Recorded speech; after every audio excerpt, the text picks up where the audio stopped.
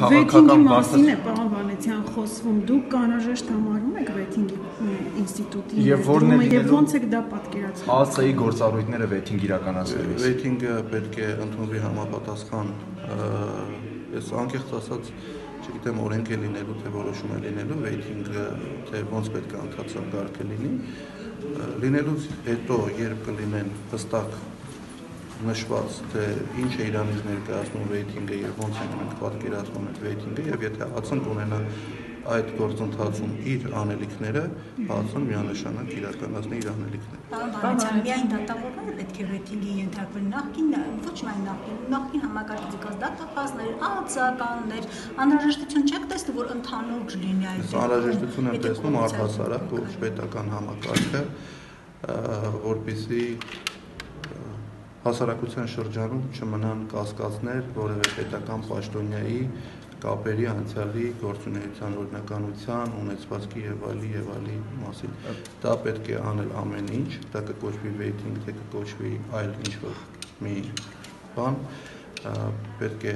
հասարակության շրջանում բոլոր կասկածները փարատվեն, թե այս անձին, պաշտոնատար անձին, որտեղից այդ ունեցվածքը նրա նշանակման պատմվածքը, թե ոնց նշանակվեց կապերը եւ այլն եւ այլն, այսինքն հասարակությանը պետք է փորձենք իրազեկել։ Պարոն Վանեցյան, բարակումներ կան, որ այս կամ այն խնամի ծանոթ բարեկամն է նշանակում կառավարությունում կամ այլ պաշտոններում։ Դրա համար եթե կլինի այդ միջոցառումները, որը նախատեսվում են, դրանից հետո այդ բոլոր հարցերի պատասխանները կստանանք։ Ես դրա համար այդ դրանից ելնելով եմ ասում որ անհրաժեշտություն կա հասարակության հուզող հարցերի պատասխաններ տալու։ Ուշացած են որակում այս գործողությունները, հա, որոշ մասնագետներ, այսինքն 1 տարի անցավ, հիմա նոր խոսում ենք, որ կոռուպցիայի դեմ պետք է պայքար լինի, վետինգ լինի, վետինգ լինի։ Կոռուպցիայի դեմ պայքարը եղել է հենց առաջին օրվանից ոչ Թավշյաբարնի հեղափոխության հաղթանակի հաջորդ օրվանից սկսվել է կոռուպցիայի դեմ անզիջում պայքար, որի առաջնագծում եղել է ազգային անվտանգության ծառայությունը եւ մինչեւ այսօր մենք իրականացնում ենք օրենքով վերապահված մեր մեր լիազորությունը։ Պարոն Վանեցյան, վերջին իրադարձություններից հետո ԱԱՑ-ն որևէ ուսումնասիրություններ կատարում է դատավորների գործունեության ոլորտում դոսիեների ստուգում արվում։ Դոսիե ԱԱԾ-ում չկա, ազգային անվտանգություն, անվտանգության ծառայությունը իրականացնում օպերատիվ հետախուզական միջոցառումներ, որոնք անհրաժեշտության դեպքում եւ համապատասխան օպերատիվ հետախուզական գործունեության մասին օրենքի թե կլինի այդ անձը դատավոր, դատախազ, ԱԱԾ-ական